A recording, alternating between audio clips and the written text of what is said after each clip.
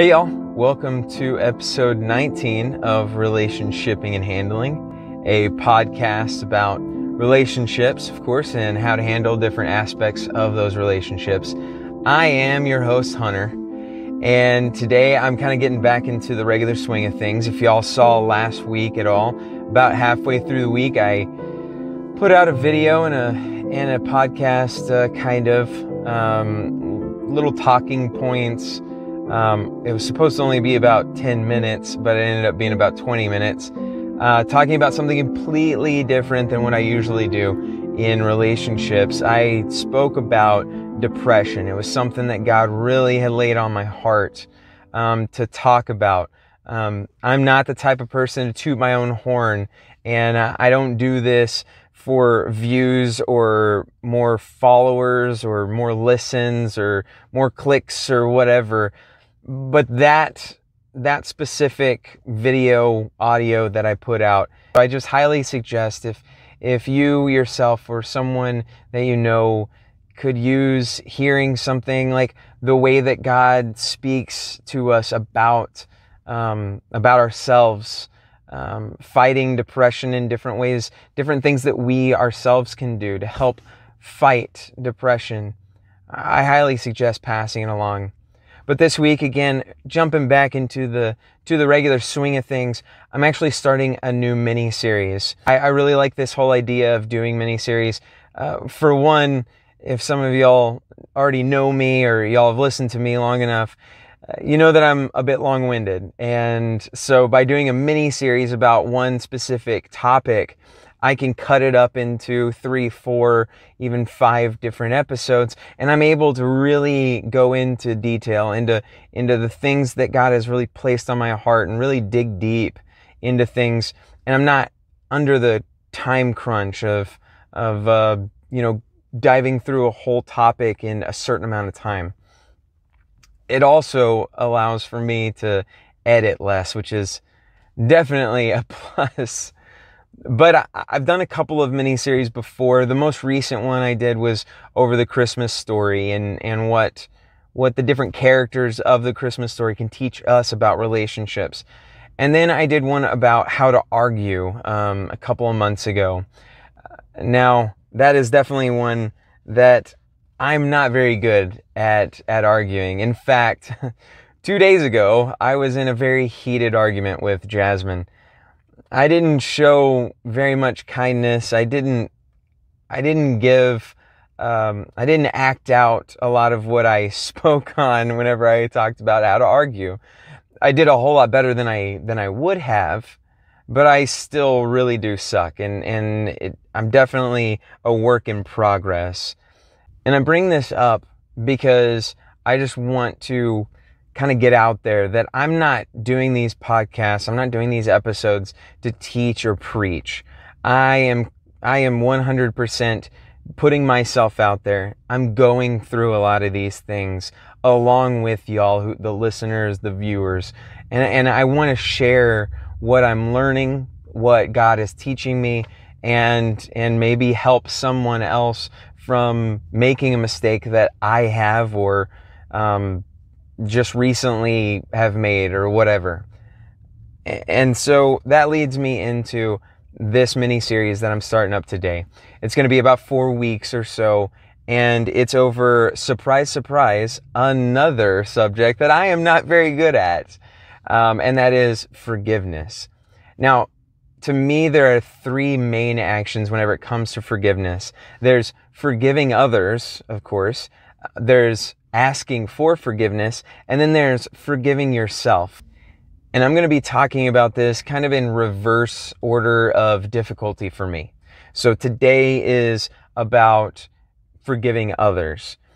Now, back about eight or nine years ago, my sponsor said something to me about unforgiveness that some of y'all have probably heard. It's probably been said different ways, uh, but it really, really stuck with me, and that is unforgiveness is like drinking poison and thinking that the other person's going to die.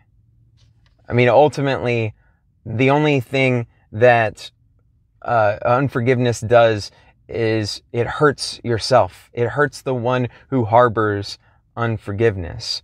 And next week or the week after, I'm not really sure yet, but I'm going to be diving a little bit more into the truth behind that. Unlike all of my episodes, I have a core scripture uh, for each one of them, and this week is no different. Uh, it is found in Colossians 3:13, and Paul says to us, "Bear with each other and forgive whatever grievances you may have against one another. Forgive as the Lord forgave you." And before we dive into that, and before we dive into what it truly means to forgive others, let's pray. Dear Heavenly Father, I thank you so much for allowing me the ability to do this. Thank you for the uh, platform to do this, God. And I, I pray that all the glory and honor go to you, Lord. Um, that whatever um, changes are, are, are had by by myself or other people, that the glory will be given unto you, God. Uh, I pray that you will just open our hearts and ears and eyes, even to to, to hear and see what you have to say to us, God. And I thank you and I love you. In Jesus' precious name I pray. Amen. Now, to dive deeper into what I was speaking on before and what my sponsor had said to me, uh, that brings me to saying, yes, I am a recovering addict.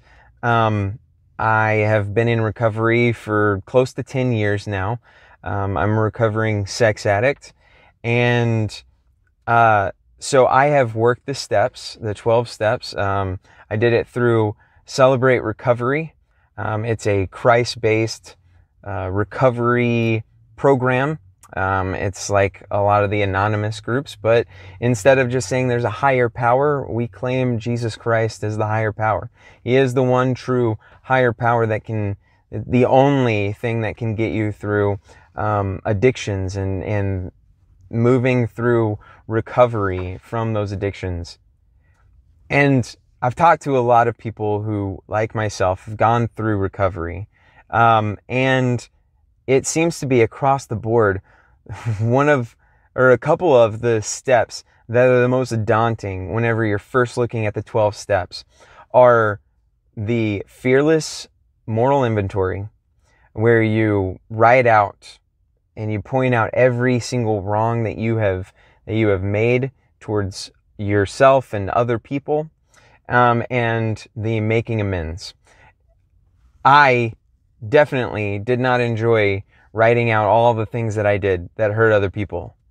And I definitely wasn't looking forward to, you know, making amends, asking forgiveness from other people. But all along the way, I had a sponsor there helping me and guiding me, um, kind of keeping me on track. And one of the things is that whenever you make your moral inventory, every single thing is shared with your sponsor. So I wrote out everything. I had about three or four different pages of these things, these horrible things, not so horrible things, but ways that I hurt other people.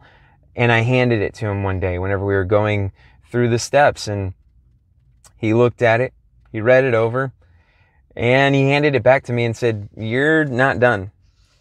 And I was taken aback. I said, What are you what are you talking about? I I, I put down everything. I've prayed on it. I I really racked my brain on all this. Like I, I spent a long time doing this. And he said, well, you didn't write down anything that other people did to you that that was a wrong to you or hurt you. And you don't have anything in here about how that you plan on forgiving those people for hurting you. And I, I was like, what, what? Like, I'm the one that hurt everybody. Like, who cares about the things that people did to wrong me? Like, I was beating myself up over the things that I had done during my past that, that led me to this point. And I, I definitely didn't want to shift blame over to someone else. But as as I went ahead and indulged him and started to write down these things that I, I was in my like mid twenties or so, and I started to write these things down and started to realize that there were some things that for close to two decades I had held on to and I hadn't realized it. Things things that 10 years prior people had done to me or, or had hurt me in one way or another, and I hadn't really dealt with it at all. Now, my sponsor told me that only asking for forgiveness was a half measure. And if you've been around uh, recovery in any shape or form, you've heard that phrase half measures. And it's actually used in, a, in another phrase that is, that is said often, and that is half measures avail nothing. Ultimately, what that means is you're not going to recover. You're not going to be able to work the steps if you're just half assing it. And I think God actually tells us that. He tells us that throughout the Bible whenever it comes to forgiveness. Holding on to unforgiveness is going to hold you and myself back from being the person that God truly wants us to be. And, and, and to kind of further that point and take a look into what God has to say about unforgiveness or, or about forgiving and what it's, what it's like to be a person that God wants you to be. Let's take a, a look at a couple of scriptures. The first being Ephesians uh, 4.32 where Paul again says, be kind and compassionate to one another, forgiving each other just as Christ God forgave you. By forgiving, you're being kind, and you're being compassionate to other people. If we go back and take a look at the core scripture for this week of Colossians 3:13, bear with each other and forgive whatever grievances you may have against one another. Forgive as the Lord forgave you. I love this phrase, bear with each other and forgive. Ultimately, what he's saying is be patient with one another. And if you forgive one another, then you're going to be patient with one another. One thing that's in common between the passage I wrote, read in in uh, in Ephesians and this one right here is that we are mirroring God. In Ephesians, it says, "Just as in Christ God forgave you," and then in Colossians, he says, "Forgive as the Lord forgave you." God is calling us to be more like Christ. He's calling us to be more holy, be more sanctified, be more like God intended us to be in the first place. In, uh, in Matthew 18, 21, and 22, then Peter came to Jesus and asked, Lord, how many times shall I forgive my brother or sister when they sin against me? Up to seven times? And Jesus answered, I tell you, not seven times, but 77 times. In other translations, it says 70 times seven times. Ultimately, what, what's being, what's being, you know, uh, uh, translated here and what's, what Jesus is trying to say is forgive constantly. And That, that's what we're called to do is we're called to constantly forgive each other, forgive other people. Ultimately, no one is unforgivable. Forgiveness is really just living out the fruits of the Spirit. I mean, forgiving other people is showing love. It's showing joy. It's showing peace, showing patience, kindness, goodness, faithfulness, gentleness, self-control. All of those fruits are going to point you towards forgiving other people. And when you forgive other people, you're showing off those fruits of the Spirit. Now, if if for whatever reason you're listening to this and you're like, oh, I don't really care to hear from what from what the Bible says and what Jesus has to say. First of all, I don't know why you're listening because this whole podcast is based around the truths of the Bible and, and the truths that Jesus brought to us. But if, if you want to hear something secular, just take a listen to some of these studies. Forgiving other people brings upon healthier relationships, improved mental health, less anxiety, stress, and hostility, lower blood pressure, fewer symptoms of depression, stronger immunity, improved heart health, and improved self-esteem. And that's all from the mayoclinic.org. Now, the Mayo Clinic was definitely founded by uh, Christian founders. So if that's not secular enough for you, well then let's take a look at what lifehack.org says.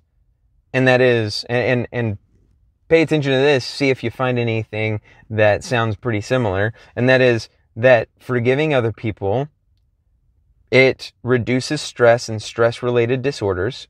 It can help lower depression.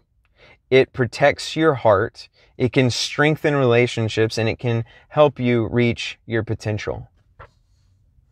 I mean, not only is the Bible saying that forgiving other people is is right and is the is is what needs to happen and what you need to do, but secular psychology, um, people in society are saying, yeah, there's a lot of of good things that come along with forgiving other people. But if none of that is enough to convince you, then let me let me leave y'all with this scripture. And it's in Matthew 6, 14 through 15, and this is what Jesus has to say. He says, For if you forgive men when they sin against you, your heavenly Father will also forgive you. But if you do not forgive men their sins, your Father will not forgive your sins. I don't know about you guys, but that is scary. Mm, a lot of people want to paint Jesus and God as this grace filled, merciful, you know, loving God that forgives everyone. And to a certain extent, he is, right? God is love. God is full of grace and full of mercy.